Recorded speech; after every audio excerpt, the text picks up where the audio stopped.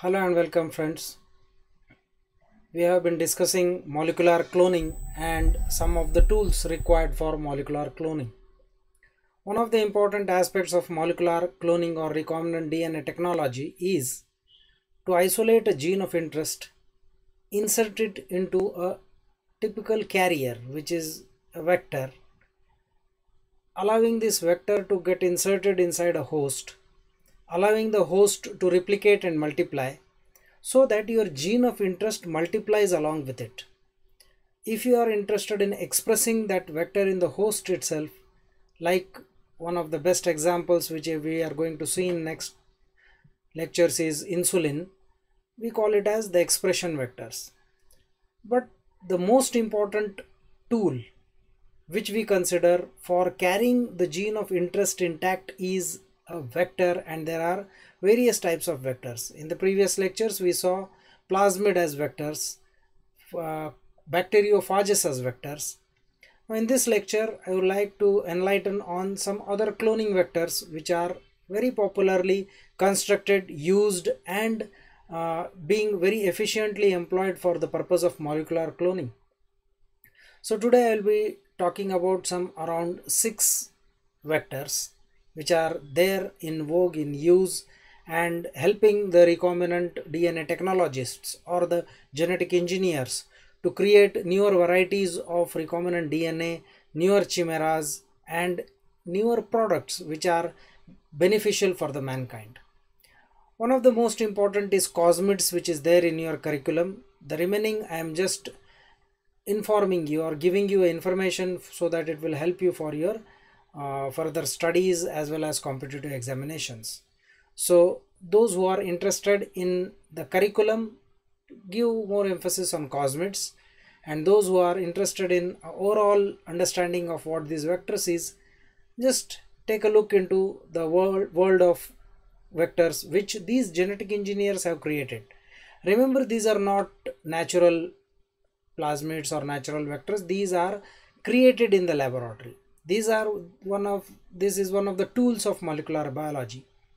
So we will start with the quest that how do scientists make changes in the dna scientists use their knowledge of the structure of dna the chemistry of dna the topology of dna molecules how it changes its shape size etc and with that knowledge they use different techniques to extract the dna from the cells first then cut DNA into smaller pieces. That is both the gene of interest as well as the vector DNA they it has to be cut into pieces.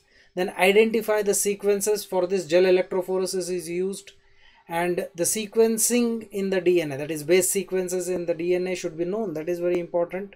And then once you have assembled all this you have to have a process where you can make unlimited copies of this DNA with genetic engineering, with recombinant DNA technology, with molecular cloning, biologists, microbiologists, biotechnologists, they can make changes in the DNA, the DNA code of the living organism, which will give rise to newer varieties of life forms, newer varieties of plant forms, nutritious foods maybe, and newer medicines, which will not only make us uh, make us last live longer but also give us a healthy life. So these are the wonderful uh, avenues of recombinant dna technology. So we have seen plasmid as vectors we have seen phages as vectors. Now some of the hybrid uh, areas which the genetic engineers they have developed. Whenever some process is being worked on regularly routinely then the engineers they get newer ideas newer avenues open in their brains so that so that they can make more compatible uh, technology more compatible vectors. So cosmid is one such vector. What is cosmid? Cosmid is uh, any type of carrier any type of vector which has the cos site from the lambda phage. The most sophisticated type of lambda phase lambda phage based vector is the cosmid why? Because it utilizes only the cos site. Now if you see the uh, vector or the plasmid here this is a typical cosmid. It will have a cos site attached into it finish. Only that much. Why? Cosmids, these are hybrids between a phage DNA molecule and a bacterial plasmid and their design centers. Means uh, plasmid is taken with a cos site and there is a underlying fact that the enzymes that pack the lambda DNA molecules into the phage protein coat they need only cos sites means if you can see if you can read this enzymes that pack the lambda DNA into the phage protein coat means packaging a headful of a DNA into the lambda phage requires cos DNA. Now you take only that much, then create artificial heads, artificial tails. You take the cos site and design your own DNA and attach the cos site in it. So what will happen is that this gene of interest or the DNA can now be introduced into the phage head due to this cos site. What is the cos site? It is a cohesive end sites which you have already seen. So in vitro packing reaction with the lambda phage and the gene of interest, it can be made possible not only with lambda phage but you can take any molecule which carries a cos site which is separated around 37 to 52 kilobases of DNA and this can be packed inside a phage head, lambda phage head, empty phage head. So cosmid basically is a plasmid which carries a cos gene of the lambda phage. Now to identify whether this gene has which, which has been inserted is really present in a viable functional form or not, you need additional antibiotic marker. Antibiotic markers whenever they are used in recombinant DNA technology, remember one thing these are used for selection selection of colonies on the plate just imagine if i have a restriction endonucleolytic cleavage site on the marker itself antibiotic marker itself and i insert the dna within the marker then that cells will become antibiotic sensitive and they can be tested by replica plating on antibiotic containing plates on the master plate those colonies which do not grow on the antibiotic containing plate you can say these are the recombinant cells or recombinant DNA molecules. So there is there is a selectable marker called as a ampicillin resistant or any antibiotic resistant marker or a gene and a plasmid of replication origin. Here you can see origin is always required. That will help in creating multiple copies of your gene of interest. Okay and a plasmid origin of replication cosmids. Now these lack all the lambda genes except for origin and the cos site. Origin will help in replication and cos will help in packaging. Finish rest everything is artificial. You create the phage head phage tails the ghost bodies they are artificially created in vitro packaging is done. And now how to test these cells on the plates? This cannot be tested with respect to plaques. Plaque is a character which is shown on a lawn of bacteria only if there is a lytic or lysogenic cycle. Now as these cosmids they do not contain any of the maturation genes they do not contain any head or tail formation. We are using it from some other source artificially created. In vitro it is synthesized. We are using only cos site and we are using only the origin gene. This will not give plaques. So this has to be tested with respect of dyes. Various dyes like on a MacConkey's agar, neutral red is the dye. Then there is a methylene blue dye which is used for blue and white colonies which distinguish the recombinant cells from the non-recombinant cells. So this is cosmid as a vector. Now how a cloning experiment with a plasmid is, sorry, a cosmid is carried out, it's just like that. You can see a circular PJB8 cosmid is there cloning with pjb8 this is an example there are thousands of different cosmids this is one example a randomly chosen example there was no specific reason why i choose this as an example i just searched on the internet and i got this and found it simple for you to explain. So this is a random example. You can give any example. Or you can just say this is a circular cosmid. So this cosmid got to have a, a antibiotic resistant marker, a Bacillus amyloliqueficans H1 type of restriction endonucleolytic marker where it will be generated, a cos site and a replication origin gene will also be there. So when this is cut with restriction endonuclease BAM H1 and you introduce your gene of interest, you get a concatenane or a catenane. That is cos resistant uh, ampicillin resistant marker your gene of interest repeated again. Cos ampicillin resistant marker and your gene of interest repeated again. So this is a concatenane or a catenane where repeated structures are there. Now once you have a long length of repeated dna what is done these lambda phage particles are taken and a head full of packaging is done. Means long length of concatenameric dna is packed inside the head full and cut. Once it is full it is cut. So you have end to end cutting and uh, this is this can be tested on ampicillin containing plates colonies containing circular recombinant pj88 molecules will grow circular will be ampicillin resistant and those which are containing your gene of interest they can be easily separated by replica plating. So ligation is the process which forms catenanes. Now this provides the inserted dna a right size because head full of packaging no extra dna can be packed. So each each phage head when it is packed with a head full of packaging it is ensured that each phage will have a same length of a dna okay and the cut is done at the cos site so the recombinant cosmids they mature as particles. The lambda phages they are used to infect the host that is Escherichia coli in the culture. And here plaques are not formed because you don't have the rest of the lytic cycle uh, genes. Instead the cells they are plated onto a selective media and antibiotic resistant colonies they are grown.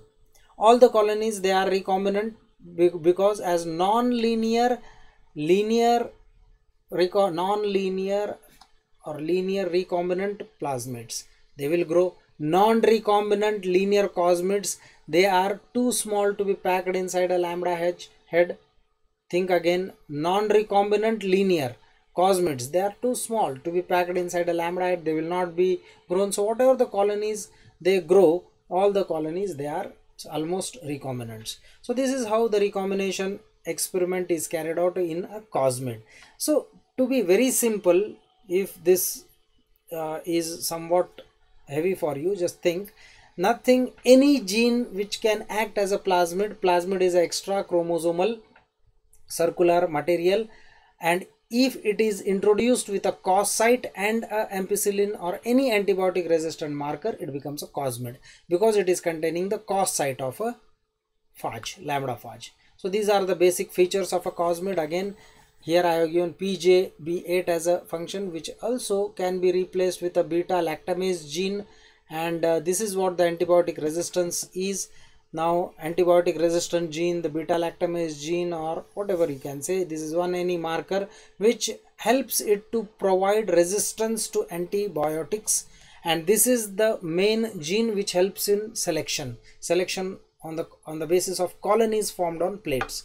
So the key features of a cosmid are there is a origin of replication gene. Now there is a cos site which provides a cut and blunt ends at the two uh, ends of the linear DNA and there are at least couple of restriction endonucleolytic cleavage sites that is for EcoR1 and SMA1.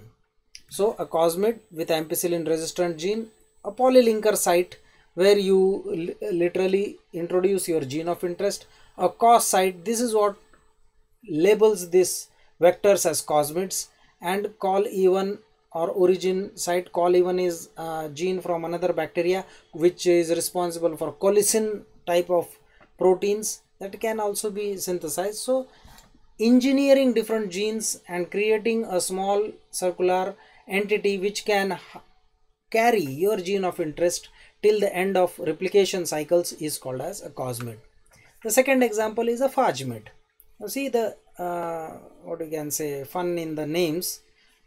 Phagemid is coming from a M13 bacteriophage.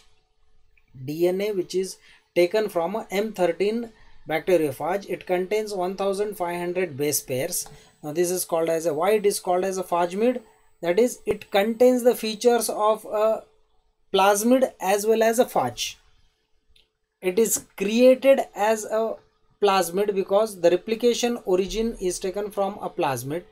Now there is a selective marker which is usually antibiotic marker. All are same even though if there is difference in the names, names are just hybridized versions of the process or the physical features which, which these vectors carry. So replication origin of a plasmid is there. Now one of the interesting aspects of phasmid is that there is a lac Z gene. There is a lac Z gene. Means what is lac Z? That is for uh, from the lac operon it is chosen. I P O Z I P O Z Y and A. That is you have the gene which is responsible for permeation of lactose so that these plasmids or these phasmids which are when introduced they can be regulated by IPTG isopropyl thiogalactosidase.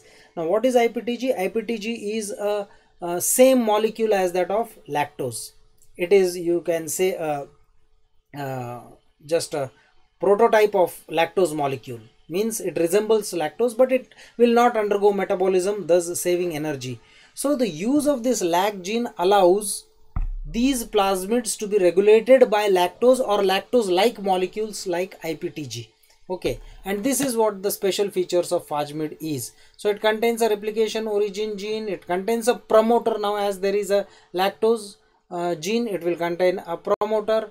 Then there is there are genes for coat protein and so on and so forth. So multiple cloning sites are there. So you can cut it with multiple restriction endonucleases and ampicillin resistant or any antibiotic resistant gene is there so these phasmids they are used as cloning vectors sequence vectors or expression vectors and it can be used to provide single or double stranded uh, DNA material without any cloning so these are the advantages of phages using phages combined with plasmids which are called as phasmids. This is one of the example of phasmid vector. Phasmid PUC 118 and FAJMID PUC 119 PUC University of California designed in.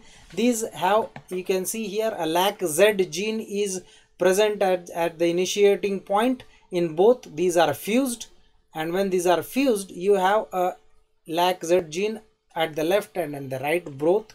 M13 Faj uh, origin of replication and sequences required for the packaging Uh, of the phage codes are shown here. All these are present. This is 3.2 kilobases in length. There is a plasmid origin or replication origin gene. There is an operator and a promoter adjacent to the lag gene. So that is brought as it is. That is IPOZ. So POZ they are bought. So that now that this operator and promoter you can control it with lactose or lactose molecules not only lactose molecules which are similar to lactose like IPTG or isopropyl thiogalactosidase. So this is a polycloning region as you can see EcoR1, SST, KPN, many types of restriction endonucleolytic cleavage sites are present in this small polycloning region. So you can use these many types of restriction enzymes with different varieties of the ends which will match with your gene of interest and clone. Once you have this, you can go on making this plasmid larger and larger. Depends upon the need and the aim and hypothesis of the researcher.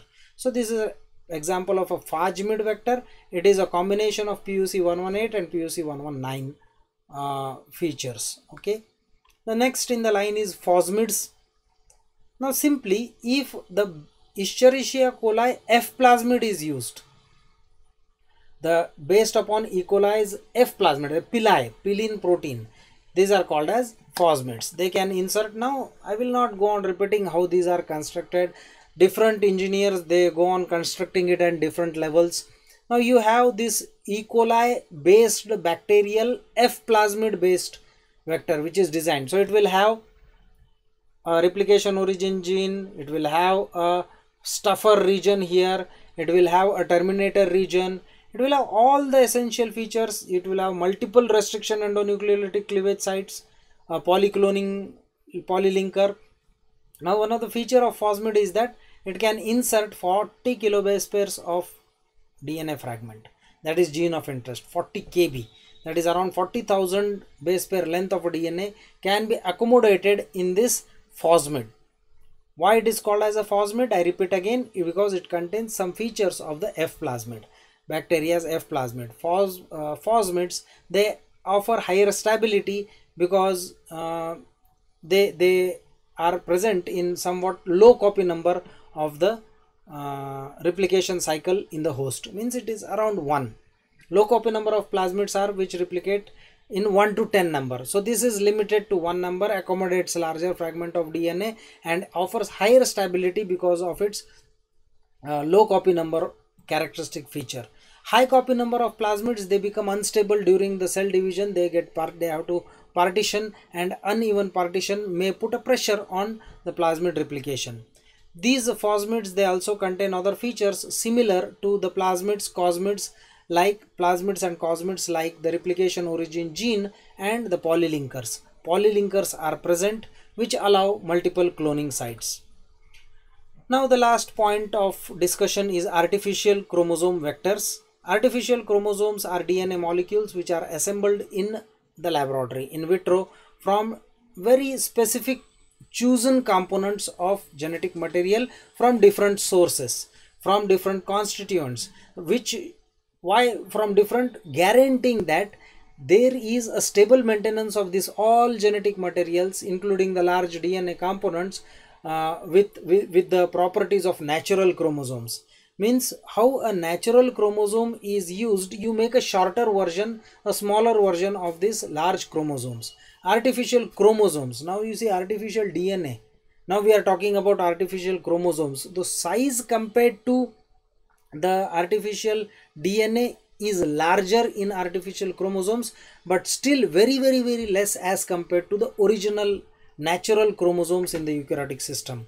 So artificial chromosomes they are very useful for genome sequencing programs, genetic map creation for functional characterization of the complete genomic regions and for transduction of large DNA fragments into human and non-human mammalian cells. Means when we use cell line cultures uh, for recombinant DNA technology, these artificial chromosome vectors plays a very important role. So we have three to four types of artificial chromosome vectors. The bacterial artificial chromosomes, yeast artificial chromosomes, the P1 phage type of artificial chromosomes and human artificial chromosomes. Just let, I will just introduce you. This is nowhere exhaustive matter on the artificial chromosomes. I am just introducing you to this concept of artificial chromosome vectors. So the first is bacterial artificial chromosomes. Now these artificial chromosomes, they allow the cloning of large pieces of DNA molecule. Just like our greed for RAM in mobile is not stopping. 1 GB RAM, 2 GB RAM, 3 GB RAM, 4 GB RAM. Now we have 8 GB RAM, 12 GB RAM. I don't know why we need such much of speed.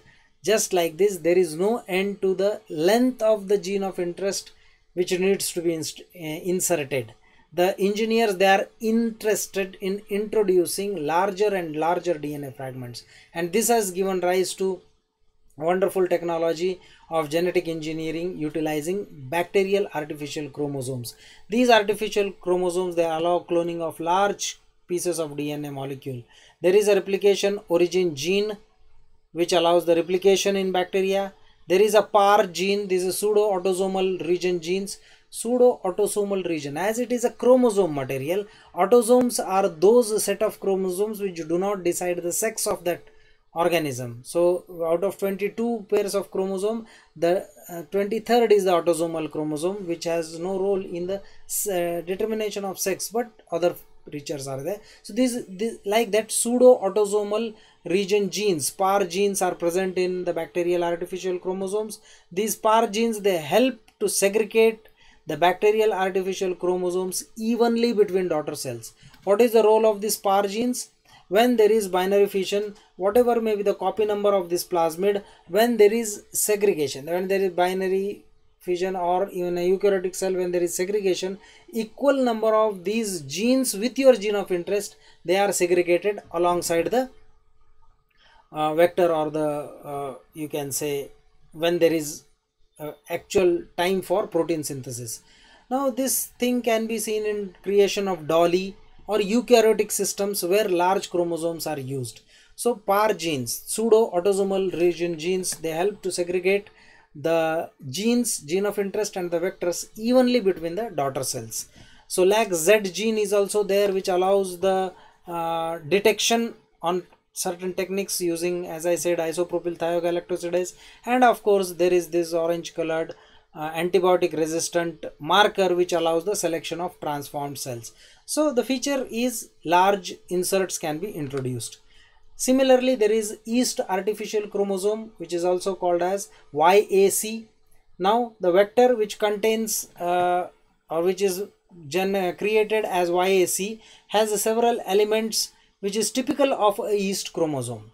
Now what are these? As you can see there is a centromere, CEN, CEN gene, a yeast centromere which ensures that chromosome partitioning between two cells, two daughter cells and a selective marker gene.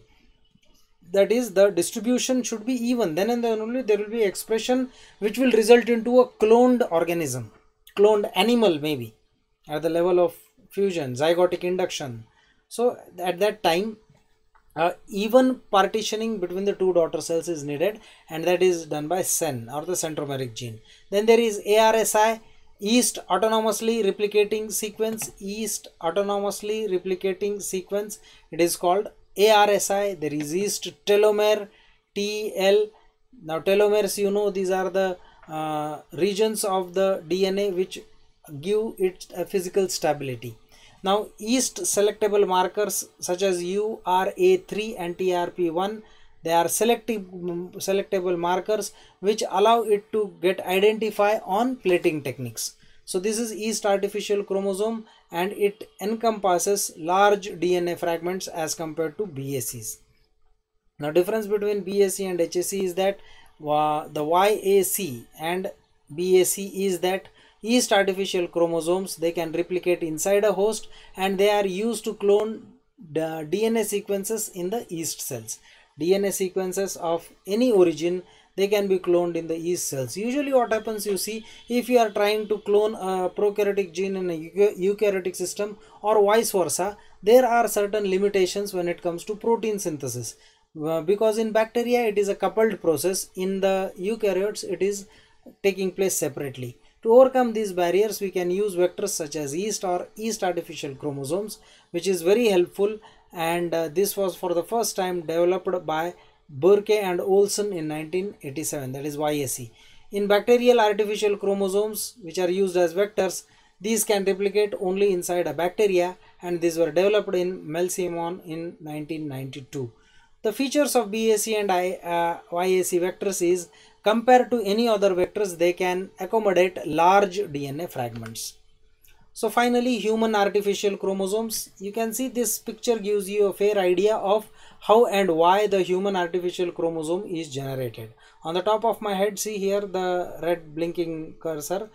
These human artificial chromosomes they utilize centromeres, telomeres, replication origin and selective genes as you can see selective genes from the human chromosome and they are artificially cultured and cultivated into human cells. They are constructed by using minimum of the DNA elements. From the chromosome we have a lot of junk DNA. So we can encompass, we can make it a compact but most efficient construction of minimum DNA elements for the maintenance of chromosome function uh, but maximum expression of what we desired. This enables the gene introduction of desired sequences. And you see here you can this molecule we have taken a centromere we have taken a telomere you have taken replication. I created a small chromosome. This what is the size of this chromosome as compared to the original chromosome? Instead of 46 chromosomes the cell will have only cell could have 47 that is additional chromosome. 47th being very small roughly 6 to 10 megabases as compared to 50 to 250 megabases of the natural chromosome. These 6 to 10 megabases which are there, these length of or these compact, compactly created artificial chromosome now can encompass or carry larger DNA fragments and can be very helpful in the recombinant DNA technology. Ideally, the researchers they could integrate different genes which are uh, which uh, they perform and a variety of functions which include the detection and uh, what you can say treatment of diseases. Now the construction methods of this HAC they are there are currently two methods which are uh, accepted for the creation of human artificial chromosomes one is the top down approach which is engineered chromosome and other is the bottom up approach where a completely artificial novel uh, HSC is created. Means in the top down approach you take a natural chromosome go on cutting the undesired parts and just as shown here take only the essential make it a compact size. This is the top down approach. The bottom up approach is start de novo something new all fresh nothing to do with the natural uh, chromosome. Everything is artificial here okay? So the generated human artificial chromosomes they are 1 to 10 megabase pairs in size and megabases in size and they consist of multiple copies of the rearranged DNA which are put into a systematic order so that that can be used for expression. So this is all about the uh, vectors, the various types of vectors. Finally, once again we will see how much DNA all these vectors can accommodate. But before that, I would like to throw some light on a very artificially developed vector called as PAC or P1 derived artificial chromosome. Example I have given this is from one uh, private firm or a private company which has generated this. This is called as PCYPAC2 according to the nomenclature depends upon the patent of the developer. Anyway, this is a PAC or a P1 phage derived artificial chromosome to overcome some of the problems associated with YAC systems, that is yeast artificial chromosome systems, this was developed. This is derived from the DNA of a P1 phage and it is used to clone DNA fragments of E. coli. Okay, PN, P1 bacteriophage has a very uh, unique feature that it has a larger genome than the lambda phage. P1 bacteriophage genome is larger than the lambda phage and it can accommodate around 110 to 115 base pairs of the DNA. It can exist in a coliphage in a prophage state. This is important to be understood. It has a low copy number of the uh, plasmid around some 1 to 10. Vectors they have been designed with the essential replication components of the P1 incorporated into the plasmid. Now the insert capacity of this plasmid it ranges from 70 to 100 kilobases. Think your gene of in interest which can be inserted can range from 70 kilobases to 100 kilobases. These are very much similar to bacterial artificial chromosomes and uh, they are easy to manipulate. The tra their transformation efficiency is much more higher than the YACs. Transformation efficiency means the capacity to introduce inside a host is more number within short and effortless time can be introduced and these PACs they are non-chimeric means they uh, they are what you can say originally they are in a mode where the gene of interest has to be inserted to create into a chimera they are originally they are non-chimeric in nature so this is the PAC or the P1 derived artificial chromosome and one of the very efficient vectors as compared to the YAC. Now let us see the gene of insert length and summary of vectors uh, how much they can carry.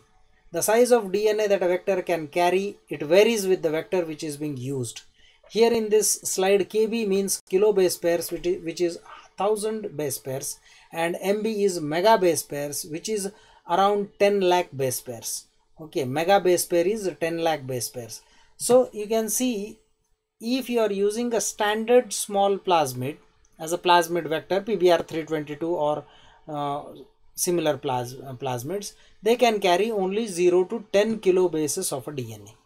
If you are using lambda bacteriophage, it can accommodate 0 to 23 kilobases of a DNA.